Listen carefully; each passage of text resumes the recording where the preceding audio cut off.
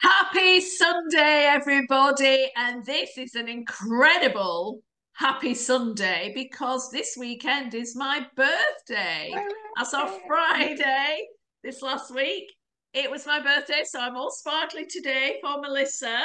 Uh, for our showcase Sunday to bring some amazing top tips and I'm honoured and absolutely overjoyed to have Melissa Robson of the Valuable People in Service Limited. And Melissa's going to introduce herself. So, Melissa, who are you? What do you do? And why do you do it?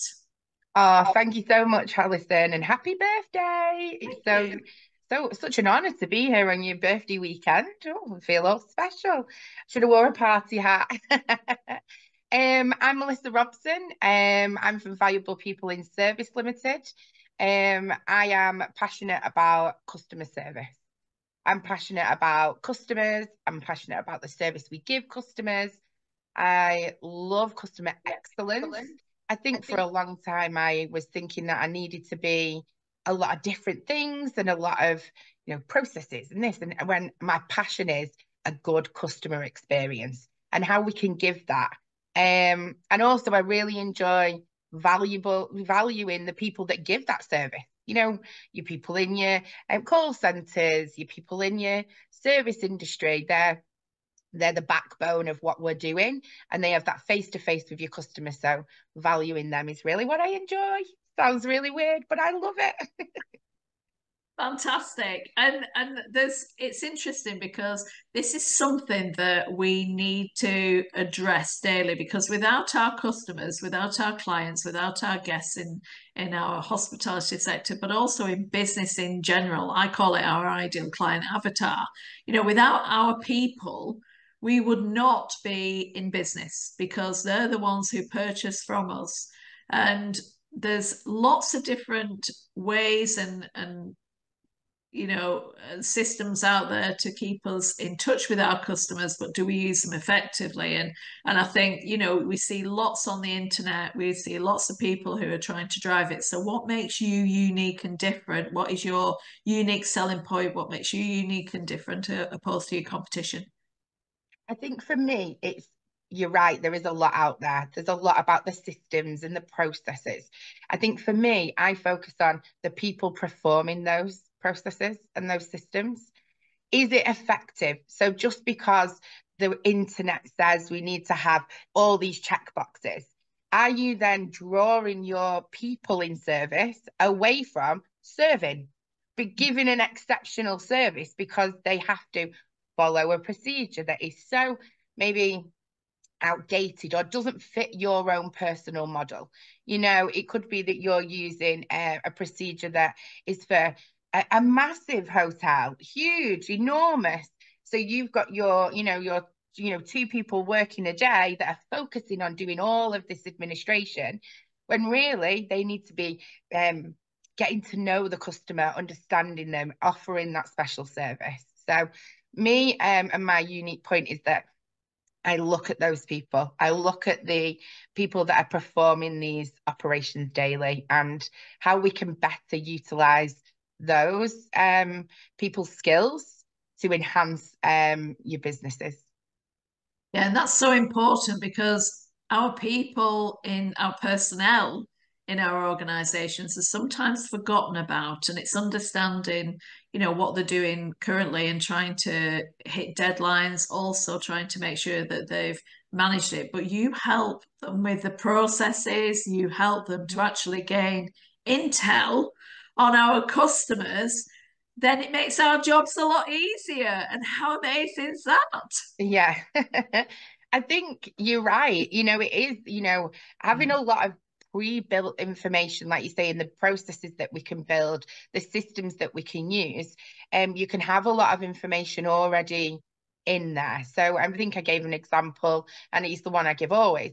If you have a regular a customer that comes to your restaurant or visits and stays, and they're very particular. I think we all, you know, is a nice way of putting what, you know, we've all experienced a particular customer and they only like to work with, you know, um, David or Sandra, um, but they're on holiday or you would be able to know when, you know, say Mr. or Mrs. Jones calls in, it would pop up on the screen the times they'd stayed, particular comments that, you know, this, this is a, you know, we wouldn't write it as that, but we like only like to work with David and Sandra. So you would be able to preempt their experience.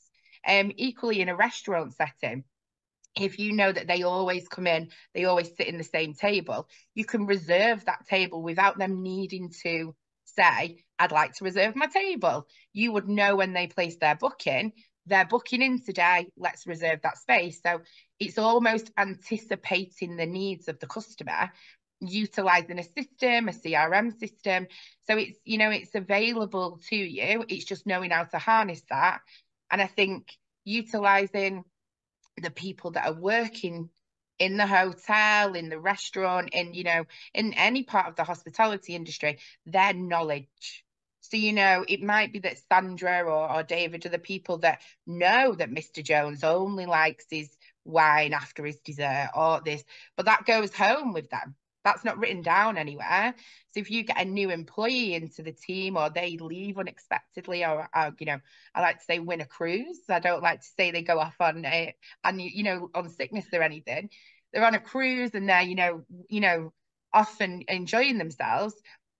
Anybody else within that team at any time would be able to see that information, know their favorites, know the experience that they'd previously had, and it's all there available to you to view just from them picking up the phone and booking a table or arriving and you taking their details, all that would be there for you to see. So I really enjoy getting the knowledge from the people and having it available to the wider team. So that's, that's amazing, and it's so important. Guest recognition is the ultimate, you know, and uh, and that's what gets the red stars, the the accolades. It, it really does. It gets the TripAdvisors on number one. You everyone know, wants to feel like a, everyone wants to feel like a VIP, and it mm. doesn't take a lot for us to make people feel that way. You know, if you've got the right structure in place, you know, imagine you've called a restaurant and they're like, oh, hi, Alison. It's lovely to hear from you again. Yeah. We'll have your table ready. And then someone comes over and goes, oh, this was the wine you had last time. Did you enjoy, you know, you'd be like, oh my goodness me, like, am I, and that's, you know, very simply, we could just add that into, you know, a very well structured CRM system. Now, CRM systems vary, you know, you could have a very, you know, low level one that's not, you know, massive. Um, and you can have the big higher end ones that are, you know, massive corporate ones. Um, it's utilizing and understanding what your requirements are for your business and then getting that built in to understand. So um, there's a lot out there. There's a lot free, you know, apps that you can get for a certain percentage um, of customers, and then there's some, you know, massive um, ones there as well that can really help.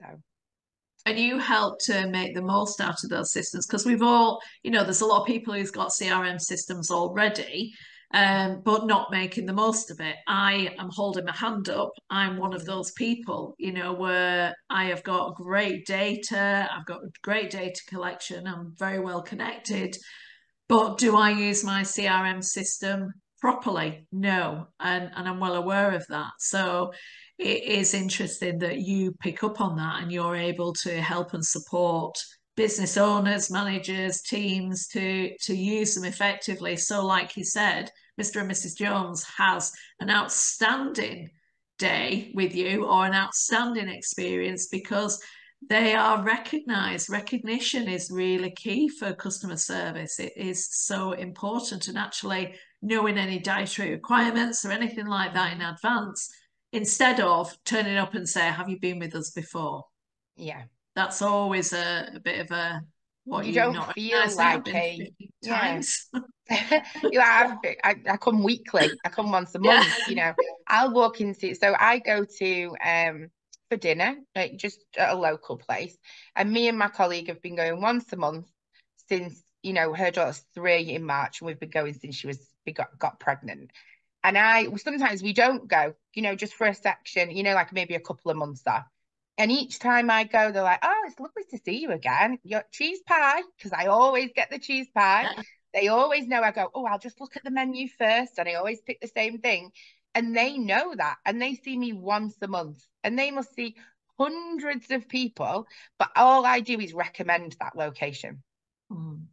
Anyone comes to you know visit in my um you know like my family, my friends, people at my job, you know the people that are in that I meet, I'm like, you want to go to the Midway, and I'll, you know, I'll do it at Midway in Stockport. Um, that's you know, that it's such a great place, and the staff make you feel like you are a friend, a you know, someone yeah. that they know, and it's not always that they need to be friendly, but sometimes it's feeling like, oh, they everyone wants to be remembered. Yeah. And if you can, you know, have a system in place that does that, I think I'm just very recognizable and I always, I, you know, want the cheese pie. So, but if you can, you know, you're a larger corporation and you have that, or even if you're a smaller one, but you just get a lot of um, people coming through, it's easy to be able to recognize and it's and it's getting that alert as well if somebody's not been in touch for a while and the the other mm-hmm. thing as well is you know it is one of our human needs. We've got six human needs and significance. We need to feel significance, not that it might be a, a, major in our human need, but we all need to feel some significance in somebody's lives. So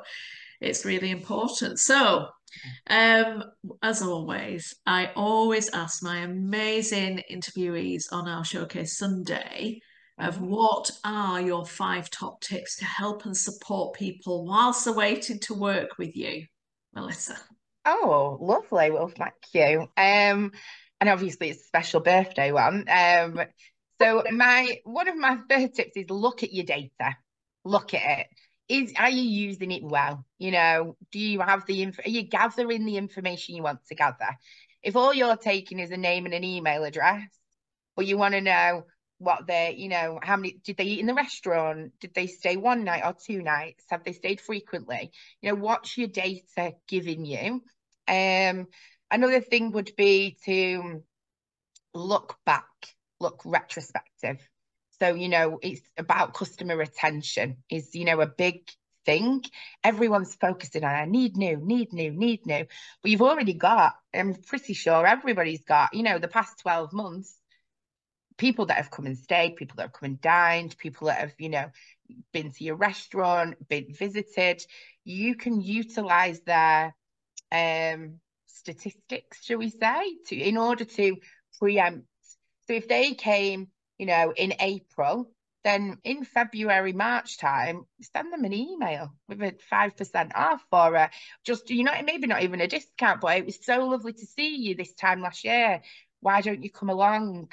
You know, and if you've got a good system set up, then that can be automated.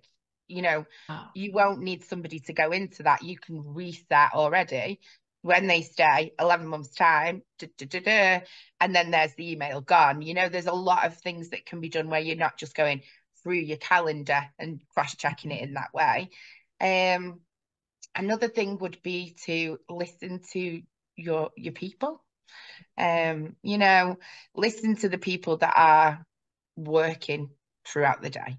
And I don't just mean managers. Um, you know, it's it's a bit difficult sometimes when you say this, but I don't just mean managers and I don't just mean with managers in presence. Um, you know, sometimes even an anonymous survey doesn't feel anonymous. Um, when you're in a small group of four people, that is not an anonymous survey. But I think giving an open and um, an open space for people to give feedback and listening to that feedback and showing and incorporating them into not decision making, but showing that they're valued in what they're doing. Because you're when you're not there, they're the face of your business. They're the people that they're meeting. Um, I think that was number four, maybe. Four, yeah, okay. yeah. I think. Um, and I guess just um, I guess you know, think about what processes you have in place currently. So I know we're looking at the data. I think think about what your goal would be. What do you want? If you're looking for scalability and you're looking to grow, are your processes that you've got at the moment functional? If you are using, you know, a manual system or you're using manual things or you've just got one person doing that and your expectation is that next year you'll have three you know three businesses or three hotels three restaurants or even just to double in size is that scalable to what you want? Um would that person or that system be able to handle that much? Like everyone wants to grow and be successful and do more. How can we make sure that everything is in place before that happens as we're running into that? So um those would be my my top top tips there. That's amazing. And it is so important, isn't it? You know, the the other thing that I guess we've forgotten to mention that it doesn't matter what systems they've got in place, you come in and actually connect everything together, including the people, don't you? You're yeah. the one who makes it happen no matter what system it is. So if it's a PMS, which is a property management system, or um, what whatever system they've got in place, you actually help the the the business and the people to bring it together together and connect yeah. with the people you know yeah, their, their ideal clients the the customers the the guests yeah, I think I use the word CRM a bit loosely there. You know, I think it is any system that you have in place. It's all about the data and your end result, and then the people that you're working with and how mm. we can incorporate. So it's almost like bundling that together for the outcome that you want, but also making sure that you are looking at your scalability. You know, do you want to grow? Are you able to do do that based on this bundle that we currently have. How yeah. can we make it so that you know in a year's time two years time you've got that massive growth that we all hope for? You're able to to do that. Let's get in at the ground. Or it might be that you have grown. You know what an absolutely amazing thing. You've now grown so much and you've got all this data but you're you know it's it's grown out of control. So now it just needs to bring something back and put some of those processes in place to to help that and how amazing would it be, you know, to have where where you've got capacity to take more occupancy, revenue. How amazing would it be to have a steady stream of clients coming in every single day, no matter what, because mm. it's doing it for you, and you know what they're wanting, and you know who's going to walk through the door, and what they look like as well. You know that would be incredible yeah. with AI and everything, and and your help and support to connect it all together that is unbelievable. It's just really, uh, yeah. really beneficial now, isn't it?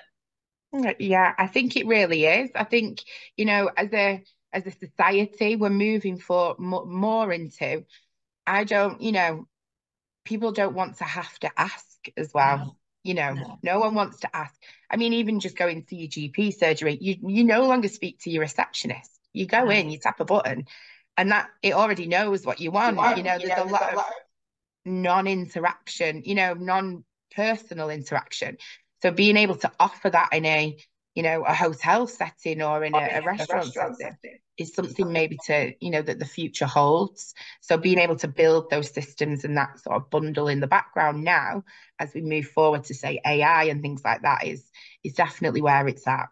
Yeah, because that, the one thing that, and, and I say this a lot, I do say it a lot in any business and any organization, that, you know, hospitality, customer service in a people interaction is going to have incredible scale because the the way the way society culture and uh, the world is going that there's going to be less and less in our daily lives. So we'll be looking to get that connection because that's another human need you know love and connection that we'd want that connection. So hospitality is in a cracking position mm-hmm. to be able to deliver that. So that's going to be a much needed luxury uh, in a not very distant you know not not uh, distant future. So it's incredible. So Obviously, you've mentioned lots of different examples that you've helped and supported people in the industry and and you know save time and so on. But is there any other examples you want to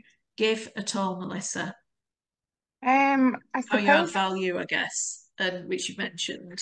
Yeah, I think it's just you know looking at um helping within your customer care teams as well. So although I, and when I say customer care teams, that's not just a, a call center, as anybody working with a customer. So I've got 15 years of uh, management in customer service. I, you know, I've managed large teams. I've, you know, for a short time managed over North Europe. So getting those teams to feel valued and to be working in a way that is positive for your company. So, it, you know, training is also available to those teams. um, you know, looking at maybe a, a you know, structuring that in a way that is beneficial for your company. Now, I do that, you know, uh, within, you know, I've done that within a corporate world.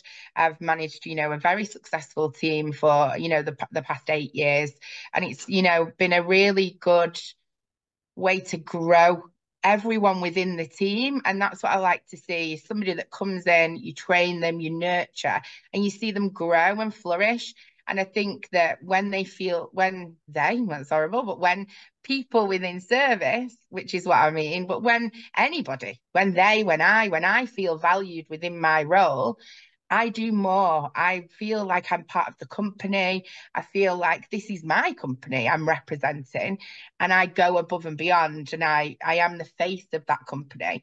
So I do offer, you know, training and um, I can look at the, you know, your current setup and if there is um sort of particular needs for certain people, then um, customer service sort of training um, is available as well.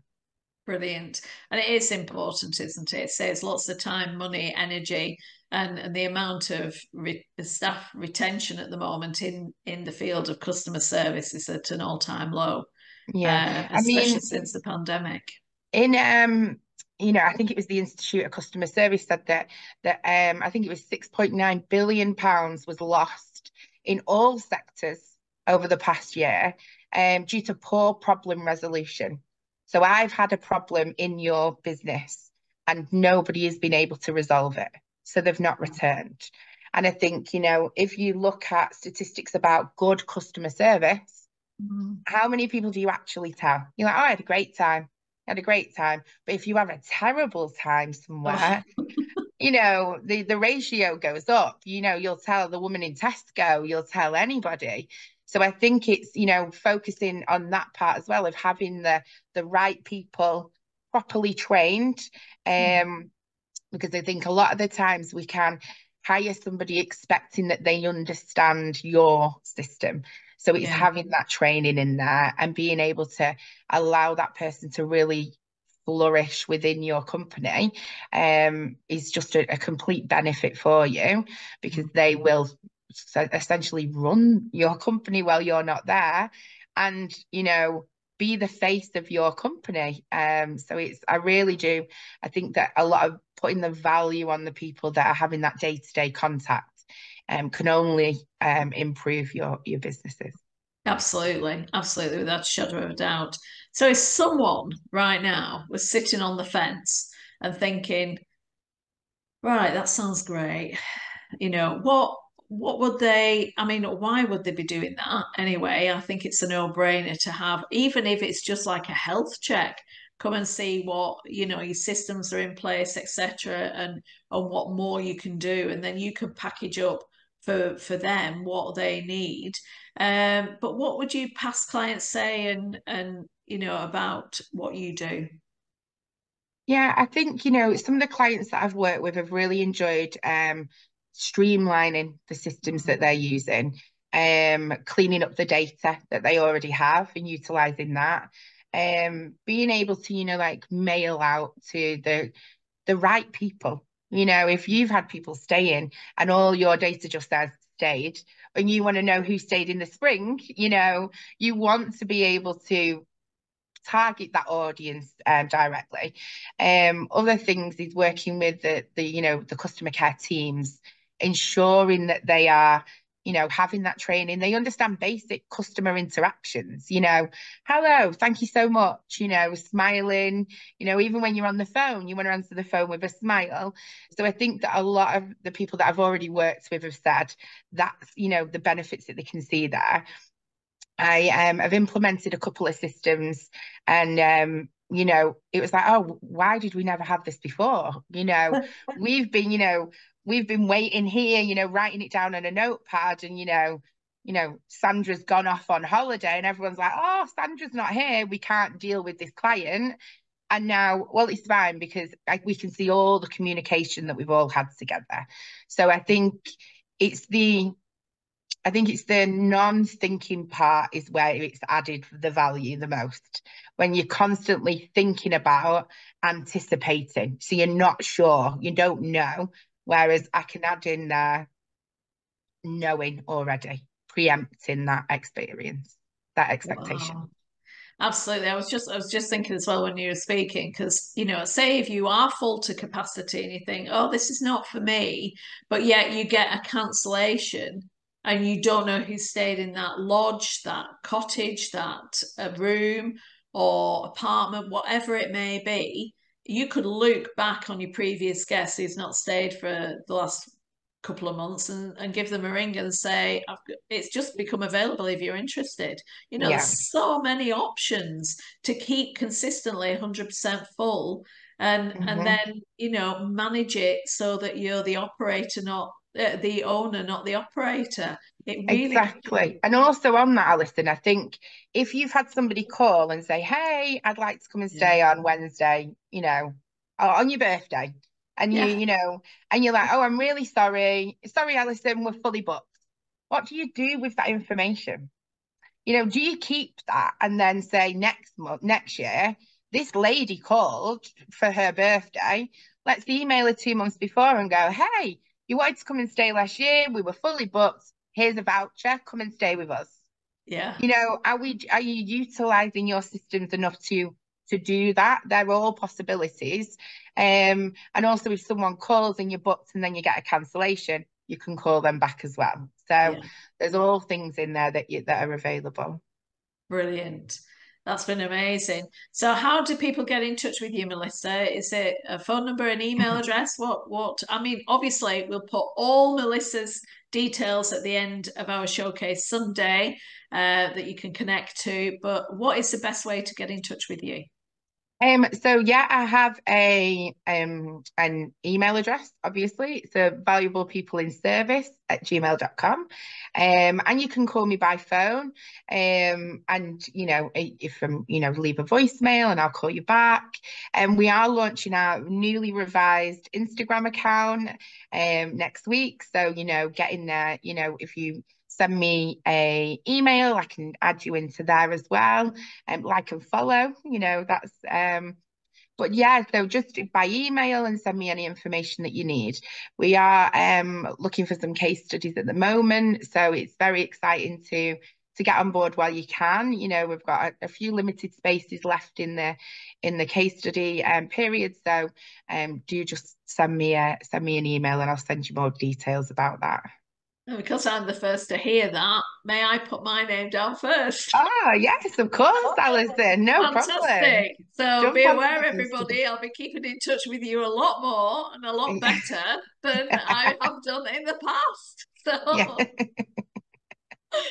Fantastic. Oh, oh, well, thank you so much, Melissa. That's been incredible. And it is something that I am incredibly passionate about customer service and making sure it's spot on. Uh, a lot of people already know I've got a virtual reality training element that's going to be beta testing very soon, Immersive XP, um, that, that'll help and support people in the actual job.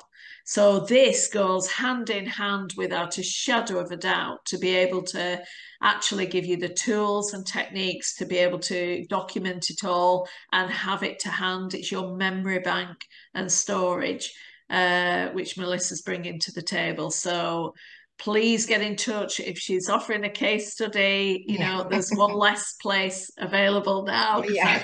one uh, but yeah it's it's incredible so certainly get in touch with melissa direct uh, all the details are at the end of our showcase sunday so May I wish you all, and thank you so much, Melissa, for You're joining welcome. me. No problem. And happy birthday again, Alison. Thank you. I'm sure everybody's singing happy birthday now to you. Um, enjoy your day. I'm celebrating it all weekend. but uh, may I wish you uh, an amazing Sunday, all the very best, and thank you for joining me on Showcase Sunday. And please get in touch. Take care. Thank you. Bye bye.